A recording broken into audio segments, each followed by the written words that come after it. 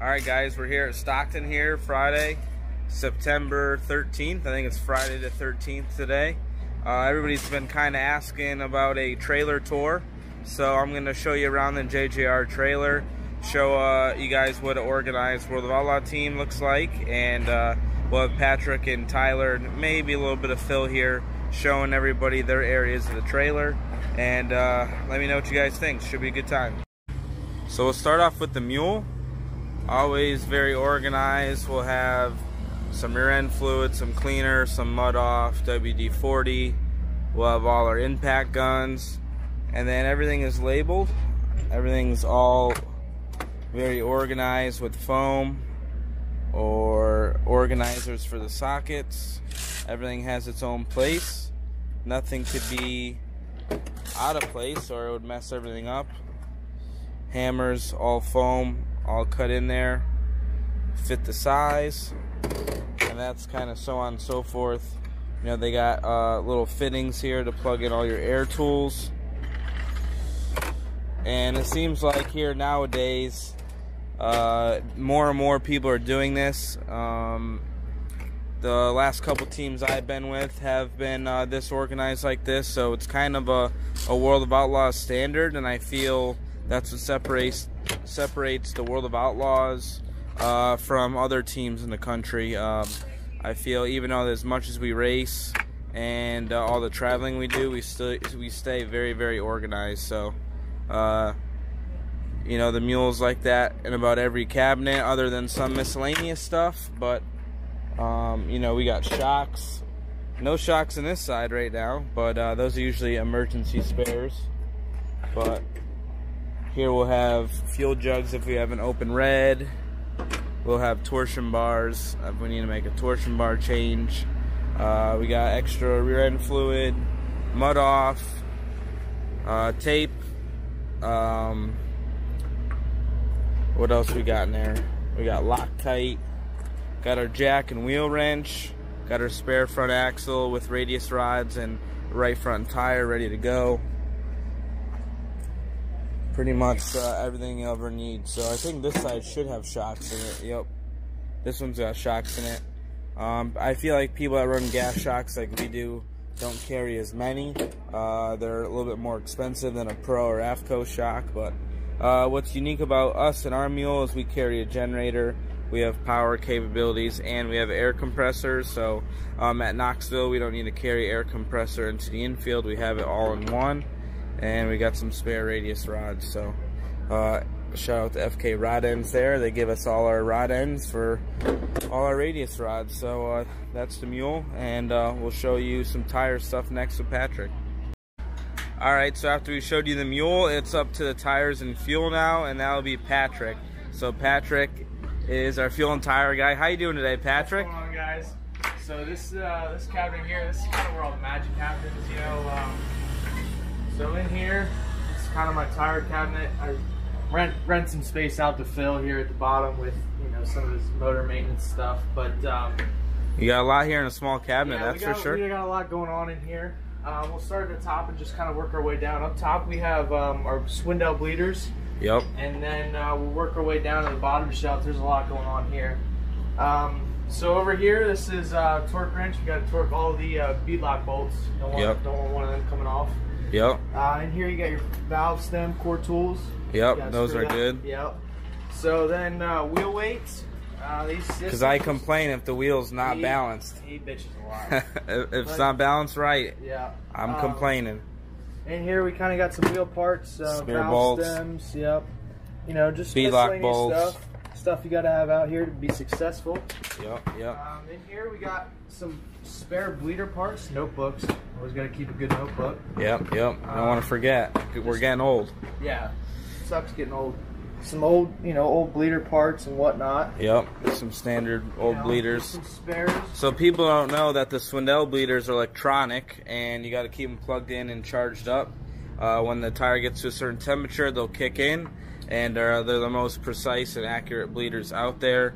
Uh, they're also the most expensive, but you got to pay to play. So that's where we're at there. Got a couple tire pressure gauges. gauges. Yeah. Yep. Yep. Keeps us hooked up. Always gonna have a spare for anything. Yep. So. So that's your tire cabinet. Patrick's job's uh, pretty simple tires, and then Tyler kind of does the fuel. But show all us. Uh, all the go-go juices in here. And we'll pop this open. We got two cabinets like this. This trailer holds a good amount of fuel. It's about what 55 gallons roughly. Yeah, roughly. Maybe a little bit more. I think it's 40 in each cabinet. Okay, A yeah, little bit more. yeah. So we're Um, we so got quite a bit. holds the exact same amount. These are actually all empty. So me and Tyler kind of have our system down. He turns the jugs backwards when uh, when they're empty. They're so I empty. know when, when we need some fuel. I did not know that, so that's Yeah. something I'll learn every day. Teaching David stuff, new stuff every day out here on the road. But uh, that's pretty much it from my department in the, in the uh, trailer. All right, that's Patrick's one third. Uh, we have all our wings up here. We got four nose wings up there and three top wings. Luckily, we are fully stocked, and hopefully, we'll keep that going here going forward. Knock on wood. So, uh, we'll get Tyler next to show us uh, what's going on in the rest of the trailer and uh, go from there. All right, here we are with Tyler, the car chief. He kind of handles all the nuts and bolts, uh, everything moving on the race car is his job. So, Tyler, how you doing today, bud? Uh, pretty good. It's actually pretty toasty here in Stockton. We've been uh, It's very warm. spoiled since we left for the northwest. and Now we're in 100 degree temperature. So Yeah, trying to stay cool. Get ready to race here in a couple hours. So As they say, good thing it's dry heat. If we had humidity, you would be right. dying, Yeah. especially Patrick. that's right. So uh, yeah, Take us into your it crib here. So this is kind of the first cabinet here. Uh, basically, we got all the gear selection, big track, little tracks, bars, you know, you name it. Torsion bars, whose bars do we run? Uh, we run chalk sticks. We run chalk sticks, Yeah. and those are all Uh, gear sets, yeah, all gear stuff, labeled. little reamer in case we need to put a new bushing in the rear rack, or front rack. Yep, we had one break there last Yeah, week, that's so. So then we go to this one here, and uh, being on the road, you know, these West Coast tours, we go out for you know five, seven weeks or so, so we gotta have everything. We don't have time to go home get something new. So uh, that's for sure. got spare front ends, radius rods, drag links, tie rods, rear end. So we are not missing a front end because we crashed it. It's on the mule already. Yeah, in case in case we do crash. And in case we do crash, it's We're ready to gonna. Do that, so. So we got, yeah. you know, uh, everything nice, nice. Every radius rod sitting there. Bird cages got arms and radius rods on them already. Everything ready to rock and. Uh, Looking That's tight. not everything though, because I mean, if sometimes you have a bad year, you're gonna have to do it do it twice. I mean, we got a, basically a copy of that cabinet. This there. one's pretty because this one's Yeah. missing no parts. These are uh, these are all brand new stuff here, pretty much. This so. is all brand spanking new. Yeah, Kenny Graber axles, basically the same thing. Spare drive shaft, so. Winters rear ends. Yeah. Not as much uh, radius rods in this one, but. So we run all Lee radius rods uh, and FK rod ends. Yeah, and uh, Kenny Graver. Kenny Graber, Graber Racing Components is the name of his company. So Good friend of JJR for a long time. the chemical, we're good there. Uh, I mean, you can just show us Yeah, I just mean- uh, what we Like I use. said, we're on the road for a while, so we gotta We have got to give a shout out to uh, High Performance Lubricants, Canon oil filters, Right. um, you know, all those things. welder. Hopefully, we don't gotta break that thing out. But Yep, got one high more. performance keeps us uh, lubed up, the race car inside and out Yep. with our mud off, detailer, all that good stuff. This here's the old Lista. This is also uh, more parts and bolts, obviously. I never knew what a Lista cabinet was. I thought you just called these drawers, and then every sprint car mechanic was like, "Oh yeah, it's in a Lista." Well, it actually is. Well, but here's the brand Oh, right yeah, here. Lista right there. Yeah. So now it made sense that it's the brand. Yeah. And it's- so whatever we it's- need: wing it's- bolts, radius rod, jam nuts, everything. Yep.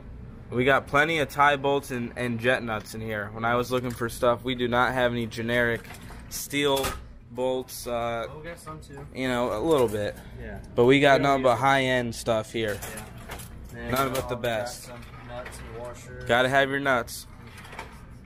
Uh, then we got more parts. I mean. Yep. So this is if you wreck stuff and you got a you got pieces of the frame that's upright for the panhard.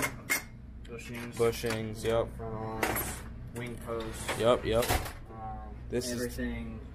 We got fittings, Caps. caps yeah. Yep. AN caps, plugs. Basically, uh, brake stuff. There's that. The, the one that says brake. ladder. Yep. Ladders. Wilwood Brakes. Wilwood Brakes is a good supporter of me and JJR. So thank you, Wilwood Brakes. Got on my Mustang. Miscellaneous stuff. Miscellaneous duct tape. you know, Yep. Miscellaneous drawer. Got to have that that junk drawer there. there. So let's show us where the money's at. Yeah, so this is where the uh, the ponies hang out. You know, this is uh, A couple of our spare motors. That's all the way one of down our. Kistler engines. I will block out uh, what Kistler engine that exactly is, so we don't tell anybody any top secret information. But Paul Kistler is a big supporter of JJR. Uh, when we had our own team, we ran Kistler engines, and uh, he's done a great job for us. And uh, happy to win them in Knoxville Nationals, along with Jason, Tim Schaefer, Danny Lasoski. So it's pretty cool to add that trailer, uh, trailer, add that trophy to his uh, cabinet there at Kistler. You know, I always walked in there, saw Tim Schaefer's trophy. I was always pretty jealous. So to add that, it is pretty cool. So thank you, Paul. We had Five a, on board. Five Yep, yeah, we got three in this cabinet. We got obviously one in the race car and one in the spare car. So uh, we are stocked up in good shape right now for engines. So, um, Tyler, do we go into this one a little bit? Not really. Is there Um, too much to show? pretty Basic, really. This is where Phil checks his fueling, right? yeah. His high speed checker and Room, vacuums, vacuum. That's just kind of a cleaning cabinet. engine so heater. engine heater. oil Yep, bench, that's yep, about it. yep. Very Very cool. That one a whole lot. so. All right. Well, That's about it, really. thank for the you. car chief Yeah, I stuff, appreciate it. Thanks, Tyler. And uh, No problem. yeah, we'll see what we do today at Stockton. It's a hot one, but uh, should be good to go. Here we got all our tires. We got left rears up top, right rears down low, all labeled with a piece of tape, size, compound, all that good stuff. And we have Phil's shock dyno here. He's got a big old screen. He's spoiled with this thing. If you can't see this at his age, he's in trouble. But it's got to be like a 37 or a 42 here. Pretty good size. I don't think it's quite that big. No, I'm going with a 37 or a 30, 32, but he definitely can see his his shock graph here. But next, I'll show you upstairs, kind of what we have for spare parts and spare cars. So we are upstairs. This is our first spare car, pretty much ready to roll. Got a front axle, rear end, and engine in it. Pretty much, you're gonna drop it down, put a top wing on it, four wheels and tires, and it should be ready to roll. Uh, we have some tires we hold up there. We got our wheel rack, and then this is we would call our kit car, but luckily we're able to have a front and a rear end in it. A lot of people aren't able to do that. But uh, there's no engine in this car. You need it kind of light to move it forward to get onto this I-beam here because then the uh, hoist picks up the car and you just run it down the I-beam to the front of the trailer, lower it down on the hoist, and uh, makes life way easier. So probably thank you Sammy Swindell or Steve Kinser back in the day coming up with that. But those are spare cars. All in these cabinets is going to be all extra spare parts. Uh, don't really want to bore you with more parts, but it's a full-length cabinet of you know extra arm stops, um, wheel halves, uh, stuff like that. So, and this overhang, we got our bags, we got our California mufflers, um, we got an engine box up there just in case if we blow an engine and need to ship one to Kistler. Uh, that's what we'll have that for. So there's the upstairs of Team JJR. Here's the lounge. We got the the coffee maker here, K cups. I think that's the most used thing in this lounge. Tyler and Phil get after it. We got a microwave. We got a decent sized fridge. Some people have smaller fridges. Got a little closet. Have my suits, uh, guys' jackets, all that stuff for the winter, and then just a bathroom. We got a sink and a toilet. Some have showers, some don't.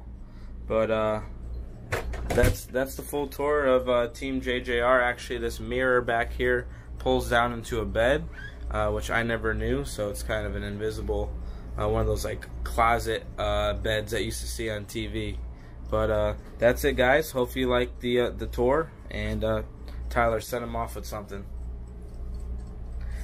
Bye.